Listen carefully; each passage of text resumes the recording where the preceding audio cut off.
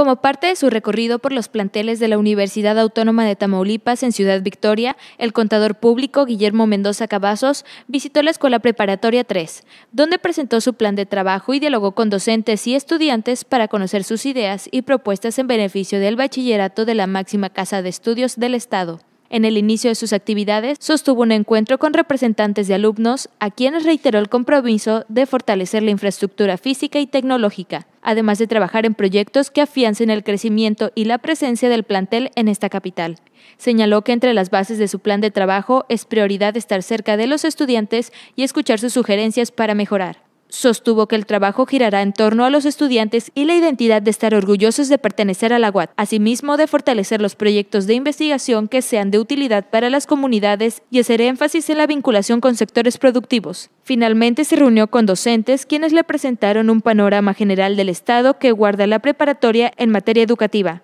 así como los proyectos educativos que habrán que emprenderse a mediano y largo plazo. En el 10.1 encontraste la noticia.